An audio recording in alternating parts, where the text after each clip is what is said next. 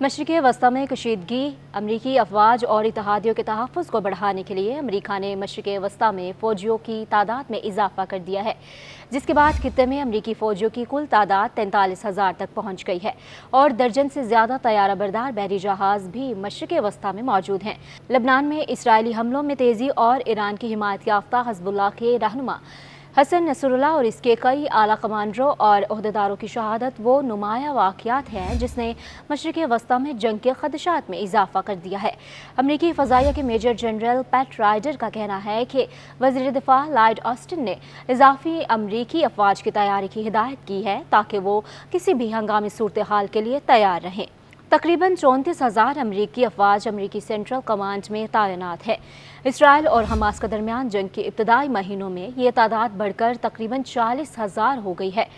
इसके अलावा इजाफी, बहरी जहाज़ और तैयारे भी भेजे गए हैं। अब ये तादाद तकरीबन पचास हज़ार तक पहुँच गई है।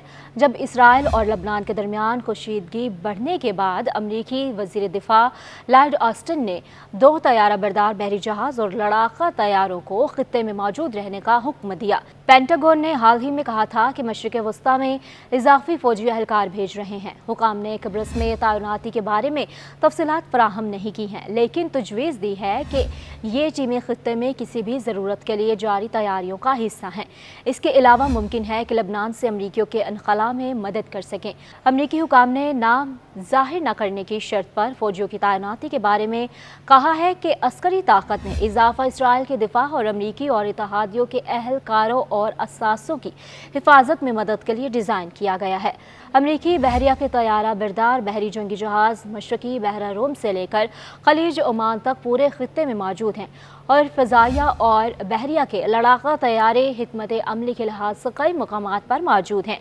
ताकि किसी भी हमले का जवाब देने के लिए बेहतर तौर पर तैयार रहें।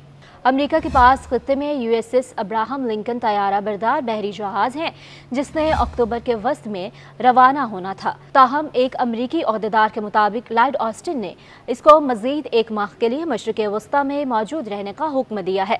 अमरीकी वज़ीर दिफा ने गुजशत एक साल में कई बार इस खत्े में चंद दीगर तैयारा बरदार बहरी जहाज़ों और लड़ाका तैयारों के लिए भी ऐसा ही हुक्म जारी किया था। दूसरा तैयारा बरदार बहरी जहाज़ U S S Harry S Truman दो डिस्ट्रॉयर और एक क्रोज़ के साथ मशरक़ की तरफ़ बहरे उकियानोस में मौजूद हैं। अगले चंद दिनों में ये यूरोप में होंगे और फिर बहर रोम की जानब रवाना होंगे। अमरीकी फ़ौजी कमांडरों ने तवील अरसे से ये दलील दी है कि एक ताकतवर तैयारा बरदार बहरी जहाज़ लड़ाका तैयारे और जदीद तरीन मिज़ाइलों के साथ निगरानी करने वाले तैयारे ईरान के खिलाफ एक मज़बूत दिफा फराहम करते हैं। U S S Abraham Lincoln और एक डिस्ट्रॉयर बहरी जहाज़ खलीज ओमान में मौजूद हैं, जबकि अमरीकी बहरिया के चार डिस्ट्रॉयर और एक जंगी जहाज़ बहिरा अहमर में हैं। गुजशत माह अमरीकी वजी दफ़ा ने U S S Georgia guided missile आबदोज को भी खत्े में भेजने का हुक्म दिया था। मशरकी बहिरा रूम में छः अमरीकी जंगी जहाज़ मौजूद हैं, जो U S S Wasp amphibious assault ship हैं। तकरीबन एक दर्जन एफ़ ए अठारह लड़ाका तैयारों को U S S Abraham Lincoln से ज़मीनी अड्डे पर मुंतकिल कर दिया गया है। हुकाम ने यह भी बताने से इनकार कर दिया है कि ये तैयारे कहाँ मुंतकिल किए गए हैं। अगस्त में अमरीकी एयरफोर्स ने लड़ाका तैयारों का एक इजाफी स्क्वाडन एफ़ बाईस भी भेजा है, जिसके बाद मशरक वस्ती में ज़मीन पर फाइटर स्क्वाडन की कुल तादाद चार हो गई है। अमरीकी एयरफोर्स में ज़मीनी हमले के लिए एटीन थंडर बोल्ट टू का स्क्वाडन एफ़ फिफ्टीन ई और एफ़ सिक्सटीन लड़ाका तैयारे भी शामिल हैं। अमरीकी फोर्स की जानब से अब तक ये नहीं कहा गया कि ये तैयारे किन ममालिक से ऑपरेट हो रहे हैं।